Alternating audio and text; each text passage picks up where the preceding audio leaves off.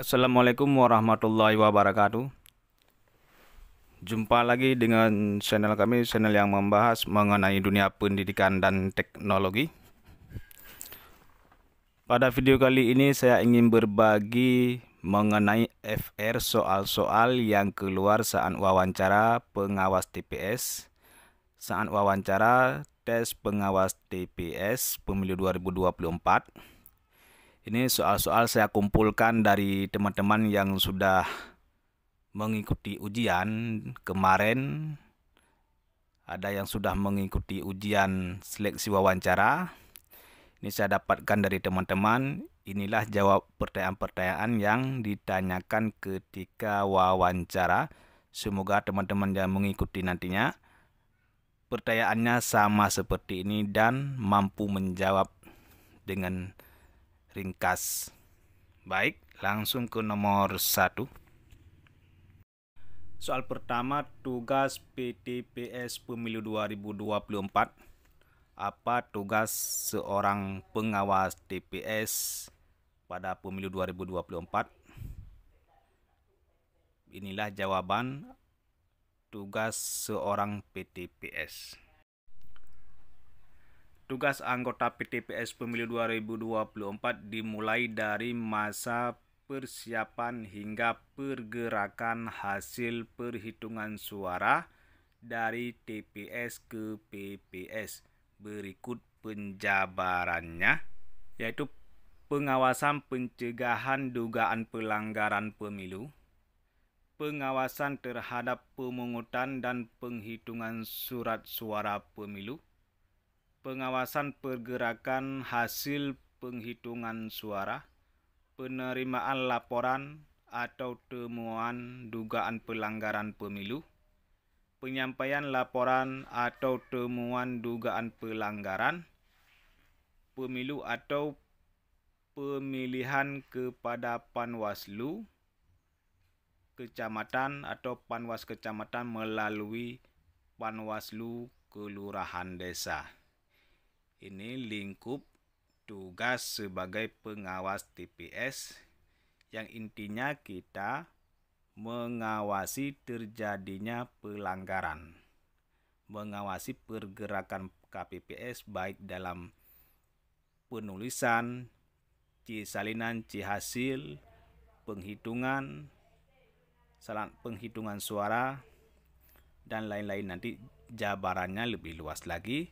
Bapak Ibu jabarkan sendiri yang intinya tugasnya adalah pengawasan agar tidak terjadi pelanggaran. Pelanggarannya macam-macam, baik dalam penulisan, dalam penghitungan, dalam penulisan baik angka dan tulisan lainnya, baik dalam penyampaian kotak suara kepada PPS dan lain-lain. Artinya kita mengawasi agar tidak terjadi pelanggaran tidak terjadi pelanggaran pemilu.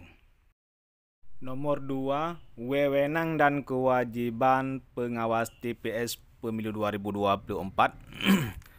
Apa wewenang kita sebagai pengawas dan kewajiban saat hari pemungutan suara? Inilah jawabannya berdasarkan buku saku PTPS ataupun pengawas TPS yaitu yang pertama wewenangnya dan kewajiban adalah menyampaikan keberatan dalam hal ditemukan dugaan pelanggaran kesalahan atau penyimpangan administrasi pemungutan dan penghitungan suara. Wewenangnya lagi yaitu menerima salinan berita acara dan sertifikat pemungutan dan penghitungan suara. Yang nomor tiga yaitu melaksanakan wewenang lain sesuai dengan ketentuan perundang-undangan.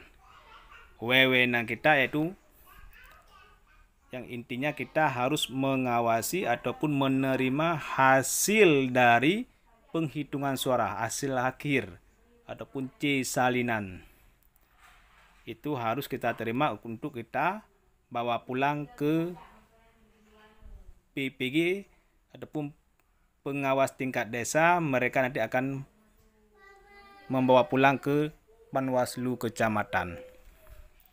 Dan jangan lupa juga teman-teman yaitu yang akan ditanyakan ada teman-teman yang sudah mengikuti wawancara yaitu masalah pengalaman yang menyangkut dengan pemilu.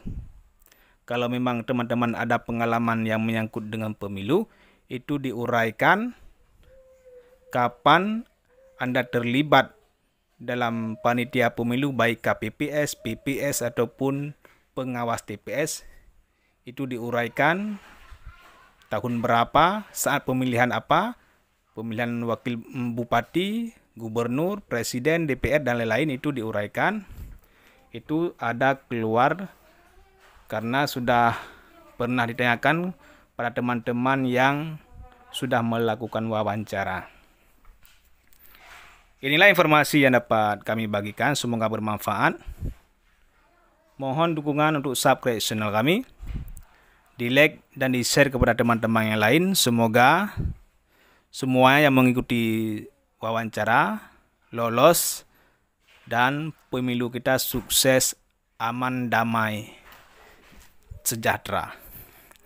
Inilah informasi yang dapat kami bagikan. Semoga bermanfaat. Terima kasih telah mendengarkan. Assalamualaikum warahmatullahi wabarakatuh.